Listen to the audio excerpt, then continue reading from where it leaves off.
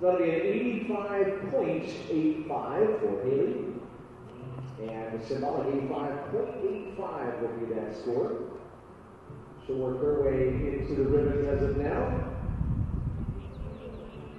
And next to go is 4,300. That is uh, Diorado Kimar and Michelle Guglielmo.